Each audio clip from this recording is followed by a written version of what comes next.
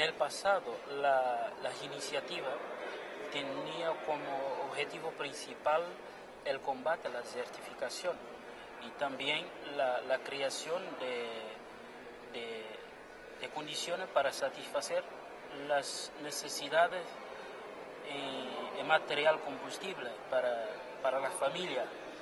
Y entonces en el pasado ha sido esto el objetivo principal y que nosotros cumplimos, porque la, la necesidad energética de los pueblos del medio rural ya están satisfechas, con eso ya no tenemos problema.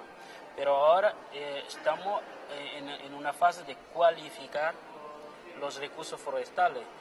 Eh, estamos implantando, por ejemplo, las áreas protegidas con la ley y instalación de los parques eh, naturales y, y, también promover una, una, una, una explotación sustentable de este recurso junto de las comunidades.